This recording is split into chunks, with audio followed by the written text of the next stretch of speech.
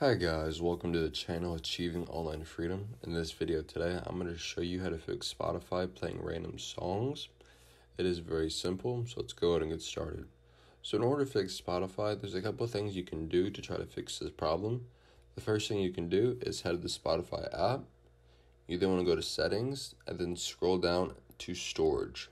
Once you're at storage, you then want to click clear cache this might kind of make the app run smoother and possibly fix playing random songs.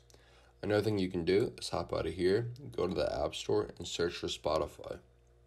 So you're going to see Spotify needs some kind of update. However, it does not. The icon would look like the one with Apple Music because Apple Music needs an update. Finally, the last thing you can do is head to Settings. You then want to scroll down to General and click on iPhone Storage. Once you're here, you then either want to scroll down or click the search bar in the top right corner, and you're looking for Spotify. Once you have found it, you then want to select Offload App. All this will do is free up storage used by the app, but also keep its documents and data, so you don't have to worry about any of your data disappearing or going away. Once you're done offloading, you then want to, want to reinstall the app, and then you want to clear it. You then want to open up Spotify once again and see whether or not the songs are playing random or if it's working as well as it did before. So I hope this video does help you. If it did, please make sure to like and subscribe to my channel.